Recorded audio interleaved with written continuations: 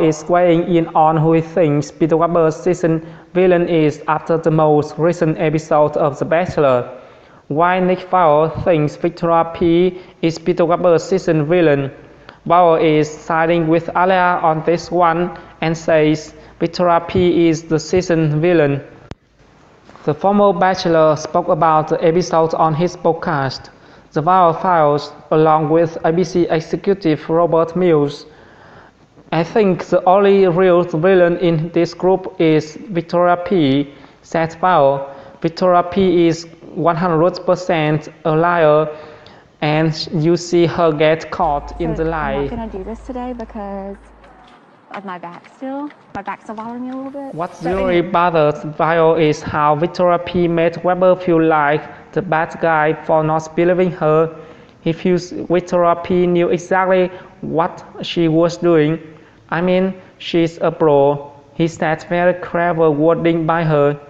Victoria might be a little touchy about the interaction uh, because he says Victoria P reminds him of someone he dated, even suggesting that Victoria's P behavior was triggering for him.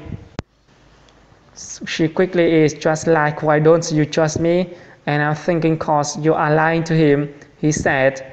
What the Bachelor Nation thinks of Victoria P. Alia drama, Viall isn't alone in his Victoria P analysis.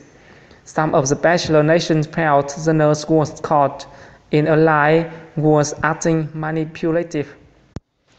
Victoria P is definitely a liar. She broke down crying, clearly trying to manipulate Peter, and is acting like she has no idea what Alia is talking about.